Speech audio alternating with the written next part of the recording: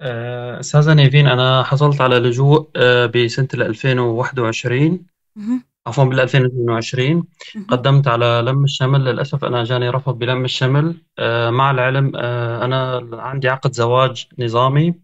بس للأسف آه، بالنسبة المشكلة اللي صارت إنه أنا أقوالي آه، كانت منافية للواقع. فأنا أخذت رفض لم الشمل. إيه طيب ممكن أعرف بالظبط إيه هي الأقوال المنافية يعني هل أنت قلت اسم زوجة أو بيانات زوجة أو قلت إن أنت أعزب وبعد كده رجعت غيرت الكلام في المقابلة اللي بعدها لا آه، أنا خبروني أي سنة أنت خرجت من سوريا أنا خبرته أن خرجت من سوريا بسنة 2013 مهم. ولكن أنا آه، دخلت على سوريا بقصد عقد الزواج ولكن آه، بطريقة غير شرعية أنا دخلت على. سوريا. عملت عقد زواج وطلعت بتاريخ ال 2019 مهم. أنا عقد زواجي بتاريخ ال 2019 فمقارنة مطابقة الأقوال آه، المحكمة رفضت تعطيني لم الشمل وما اعترفت على عقد الزواج تبعي. تمام. طيب جالك بشاهد نهائي من المحكمة ولا لسه دي أول درجة عند ال BFA بس اللي ادالك رفض؟ أنا للأسف جاني من ال BFA الرفض. آه، السفارة بلغتني بالرفض. آه، وما أعطتني مهلة غير أربع أيام بس لأعمل طعن. طبعا هذا الكلام قديم من سنة. هذا الكلام كلياته من سنة. للأسف إذا فأنا الكلام يعني ده عدى عليه كل الفترة دي للأسف هيكون صعب.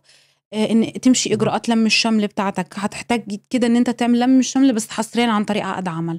لأن الإجراءات عدى عليها أكتر من سنة يعني خلاص. لا في طعن ولا في شيء نعم. نقدر نعمله. طيب وضحت الصورة أستاذ عبد القادر.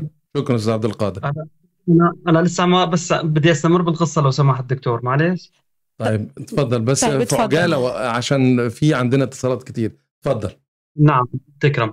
آه، أنا طبعا ما قدرت أعمل آه، شو اسمه الطعن لكن جبت زوجتي آه، على ألمانيا فيزا دراسية. مهم. فجبتها هون وحاليا هي حامل وبدي بدي بدي طريقة لتضل فيها هون. فما بعرف شو شو الإجراء اللي ممكن واحد ممكن نعمله.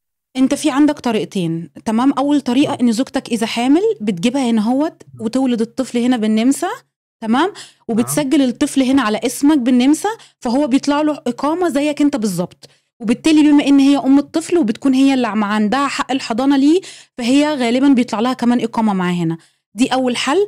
أو الحل التاني هو إن أنت بعدين تعمل لهم لم شمل عن طريق عقد عمل ليها هي والبيبي لما يجي.